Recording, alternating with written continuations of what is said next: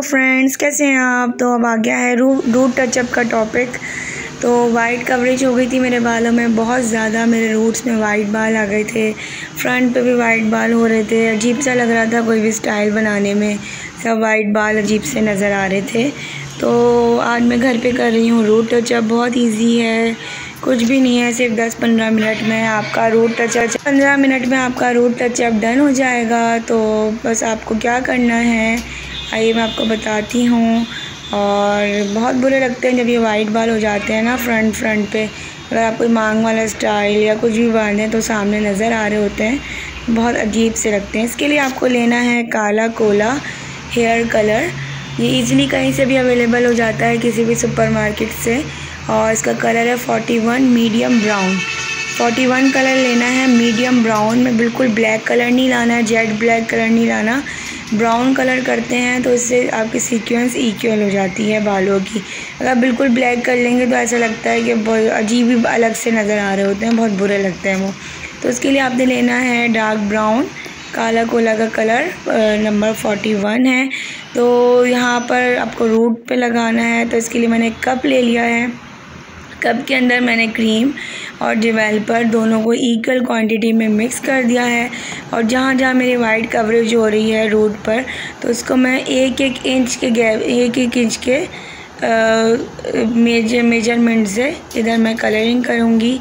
तो one one inch का measurement होना चाहिए आपके बालों में रूट्स पे। तो साइड से भी वन इंच और इस तरफ़ से भी वन इंच जो आप मांग निकाल रहे हैं तो लेफ़्ट और राइट दोनों साइड से वन वन इंच पर हम ये पेस्ट लगाएँगे काला कोला का।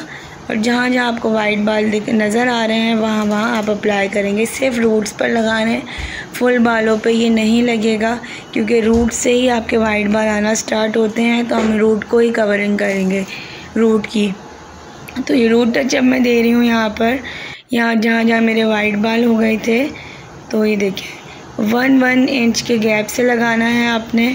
तो फ्रंट पे भी मेरे काफ़ी ज़्यादा बाल हो गए थे वाइट तो ये मैं फ्रंट एरिया भी कवर कर रही हूँ अपना।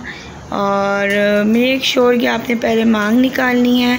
मांग के जो साइड राइट और लेफ़्ट साइड है, उसके वन वन इंच तक आपने ये पेस्ट लगाना है रूट पर ओनली तो ये देख सकते हैं आप, ये मेरी ऑलमोस्ट डन हो चुकी है रूट टचअप फ्रंट से। ये देखिए वन इंच इतना, ये मैं आपको मेज़रमेंट बता रही हूँ। वन इंच राइट से और वन इंच लेफ़्ट साइड से।